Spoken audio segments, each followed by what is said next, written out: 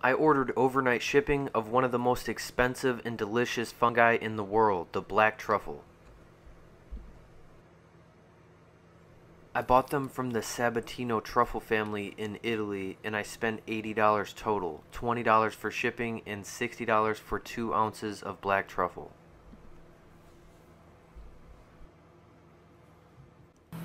I bought them so that I could experiment with cloning them to obtain the mycelium so that I could inoculate my own tree saplings.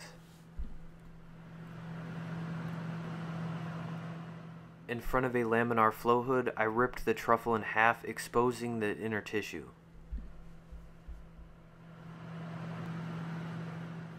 Then I just used a flame sterilized tool to transfer that tissue to sterilized nutrient agar plates.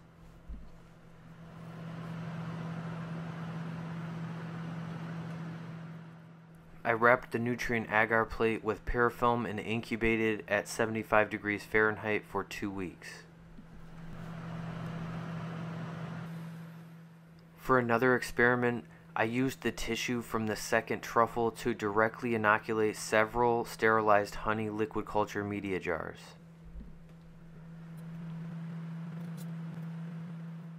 The reason I'm using this odd method is because I've had success using it to clone morel mushrooms, which are difficult to clone directly to an agar plate.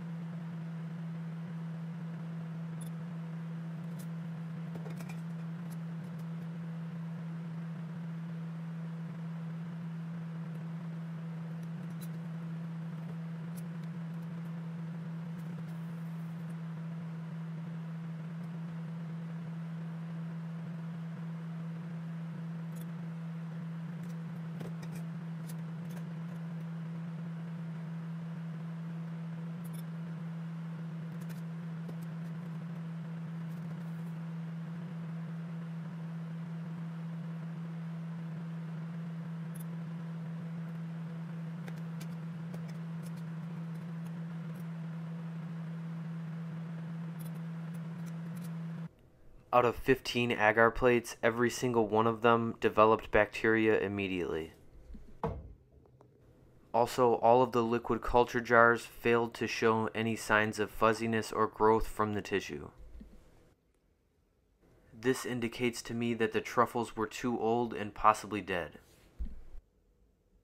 So it looks like I'll just have to fly to Italy and hunt for some fresh truffles myself.